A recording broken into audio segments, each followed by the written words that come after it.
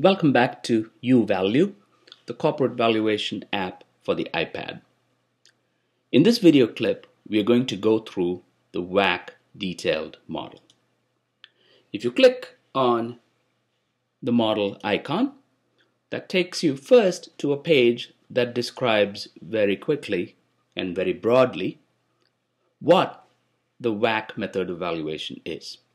It tells you that the weighted average cost of capital, or sometimes people just call it the cost of capital approach, is essentially an, an, approach to value the operating assets of a business by discounting free cash flows to the firm at the WACC and so forth. And if you go, well, wow, I used to know the definition of free cash flows, but what does it mean? Here, if you click on the M button, you will see that there's this pop-up box that gives you that. Similarly, for the weighted average cost of capital, or what do we mean by terminal value, and so forth, you can read that. You'll also see the C button, which takes you to the uValue companion. Incidentally, it's a pretty large file, so it might take a few seconds, perhaps even a minute to pop up, but you can see, it depends on the speed of your internet connection. But here's the chapter with the WACC method of valuation in the uValue companion. If you go to the contents page, you will see the various chapters in the uValue companion. You can jump to any of those. And uh, going back to the descriptive page, let's go to the next page of the app. Here you've got to make some modeling choices regarding operating income, WACC, depreciation, and the terminal growth rate. Again, you can see how all the pop-up boxes are all there. So I'm going to input, let's say, the operating margin. I'm going to input the risk-free rate, the beta, the cost of debt, and the market risk premium. I'm going to use a straight line rule for my depreciation, and I'm going to assume that the terminal growth rate defaults to the risk-free rate. Now, if we go to the first set of inputs required, these are the ones that will lead us to our free cash flow forecasts. So let's pick a company name so let's call it example. And let's say the year is 2011. See that the keyboard popped up, by the way. And I'm going to have 10 years of forecasts. Uh, base year revenues are $1 billion. Incidentally, one very important thing, please make sure to input all the numbers in millions of dollars. Or if it's a very small company that you're valuing, at least in thousands of dollars because from a formatting standpoint with the outputs and especially the PDF files that are created, it is simpler to work with numbers in the millions. So let's say this company is growing at 20% per year. So I type in 20%. Ah, wait a second. It says invalid input. Why? Well, I just need to type in 20 and the model says percent. And then it asks, do I want to fade my revenue growth over time to the terminal growth rate. And if you're not sure about what that means, as with anything here, click on the M button and that tells you, well, choosing on here will linearly fade revenue growth rate to the terminal growth rate over the course of the pro forma period. So let's say I want that to fade over time. And I said I was going to input the operating margin directly. So I put in 25%, which is um, what I think the operating margin, or, or what the data tell me, I'm sorry, the operating margin is currently. But it also asks whether we want the last period EBIT or operating margin to be same as uh, today's. And I can change that if I wish. Let's say I think it's going to decline over time to 20% in the next 10 years. You also see there are these D buttons. So if I click on that, it takes me to a web page where we maintain lots of data for you. Industry averages on 100 different industries, historical risk-free rates, the history of the market risk premium, and so forth.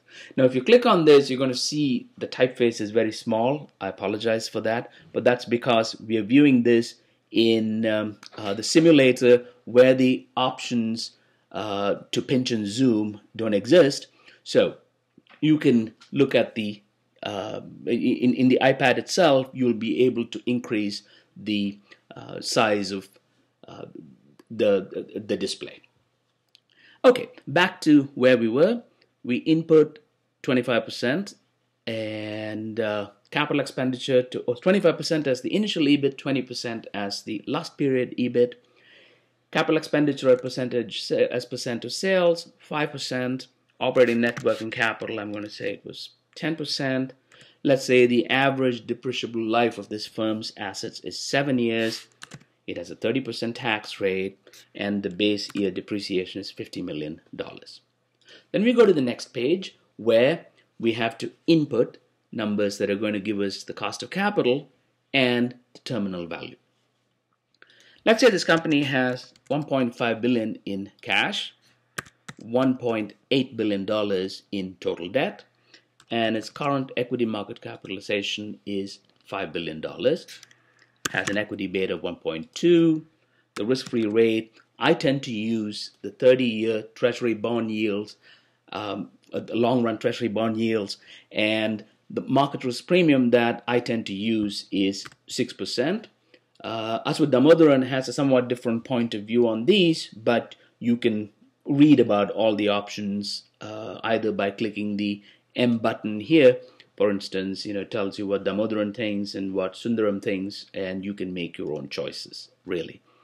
So then it calculates the weighted average cost of capital. And let's say this company's cost of debt is 6%. Oh, sorry, I'm sorry, not the weighted average cost of capital. What it calculated was the levered cost of equity. And given the cost of debt of 6%, it calculates the weighted average cost of capital at 9.71%. And let's say this company has 200 million shares outstanding. Now, since we chose G, the terminal growth rate, to default to the risk-free rate, that number is automatically input. I can also change the terminal WACC if I wish. I'm going to just leave it as it is. Now, if we click next, we get to the valuation of the company that we called example, and you can see the pro forma period, the 10-year pro forma period, the cash flow numbers, the terminal value calculations, uh, the PV of the free cash flows for the pro forma period, plus the PV of the terminal values gives us the enterprise value from which if we subtract the debt, add back the cash, we get the value of equity divided by the number of shares gives us the roughly 30 to 31 dollars that the model forecasts as the share price for this company. Now, in the detailed model, I can also proceed to valuation diagnostics and financial statements and ratios. So if I click on that, it asks for a few additional inputs. So it wants dividends. In this case, let's say the company is paying $50 million in dividends. Perhaps it's a, not a dividend paying company, but in which case you would input zero. Let's say operating net working capital to sales is 100 million.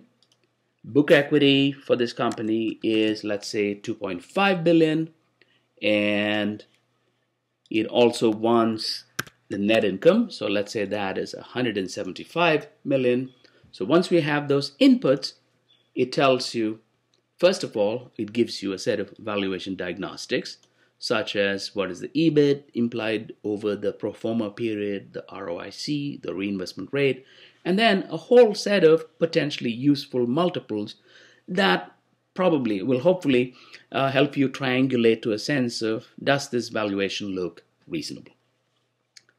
Then if you go to the next page, you will see that there are financial statements and ratios, there's an income statement, there's a balance sheet, and a few key financial ratios. Now, one other important thing, you'll see that the valuation itself can be emailed. Now, we're working on the AirPrint and AirPlay options, and we haven't activated the email in every single one of the pages, for instance, the diagnostics and financial statement forecast pages don't have the email option yet, but we will work on it and add it uh, um, in, in due course.